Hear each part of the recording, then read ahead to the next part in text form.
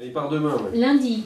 Non. Et par le premier mai. Bah, ils nous ont déjà appelé hier. Ah non, euh, c'est leur matos qui part. Par lundi. premier Ils nous ont appelé hier pour, euh, pour qu'on leur file du gauf. Euh, après, on a- C'est in- intéressant aussi d'avoir dans, dans notre sélection euh, de lauréats, d'avoir aussi euh, d'autres d'autres d'autres euh, d'autres côtés, quoi, le côté culturel, le côté humain mis en avant.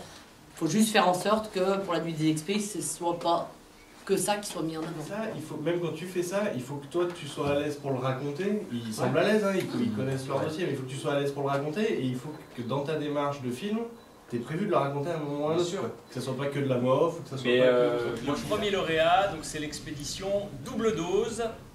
Euh, donc notre idée c'était, comme ces deux faces raides, c'était de faire reprendre ce projet, mais un peu plus euh, avec euh, ce qu'on sait faire aujourd'hui maintenant, donc descendre, en- descendre en temps. Voilà. L'idée c'était, c'est de faire un film pro, et on va s'orienter, on va rester sur du paralpinisme parce que nous on vient du milieu de la montagne, on a envie de faire de l'alpinisme, on a envie de grimper, on n'a pas juste envie de faire des images de bay jump. Il y en a, il y en a déjà plein qui sont saturés sur internet. C'est la descente du fleuve Amour, qui est la frontière naturelle entre la Russie et la Chine. Et enfin, et pas enfin, ce qui peut chapeauter un peu tout ça, c'est aussi une, réflexion sur notre, euh, notre condition privilégiée.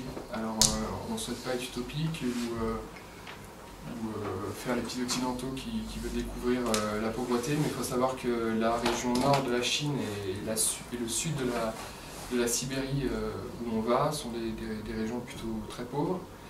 Et euh, je pense que ça peut faire du bien d'aller se confronter un petit peu à ça et Et donc c'est Unza Matata et c'est Florent qui nous en parle. Donc euh, on va s'acclimater sur le sommet un peu aux côtés. On, on sait qu'il y a le King Lipi qui, qui peut se faire. Il y en a d'autres aussi. Il y en a plein d'autres, mais on n'a pas, on n'a pas les noms, on sait pas vraiment. Ouais. On nous a donné des photos, on sait un peu. C'est Inland 6 2014.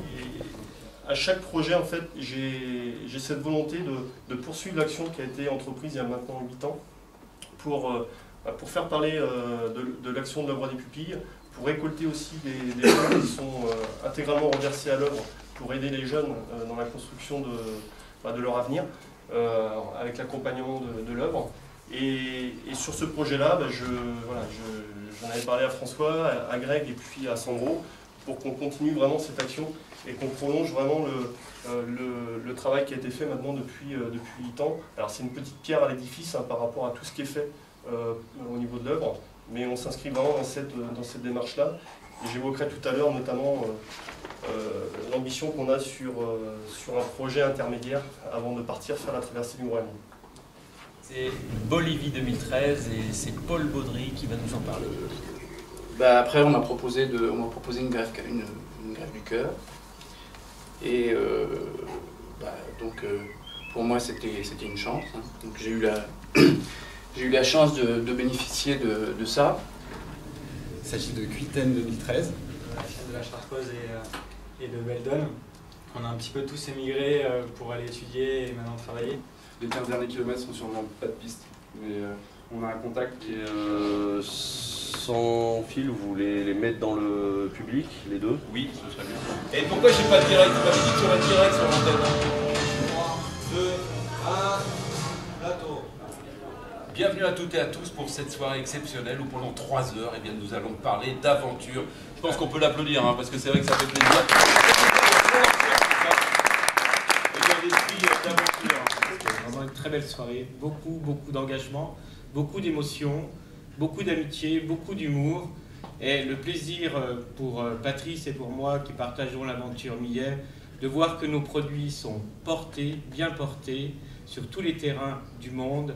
Et c'est fabuleux de- voir que notre message, oser l'aventure, dure. Et c'est avec un grand plaisir qu'on se donne rendez-vous pour euh, la septième nuit des expéditions MXP. Voilà. Merci encore à vous tous. Allez, on continue à raconter. Amenez-nous des belles Mario C'est ce soir, là, je crois. C'est ce soir. Eh, J'espère que je serai invité. Vous êtes ami d'Antoine? Non. C'est possible.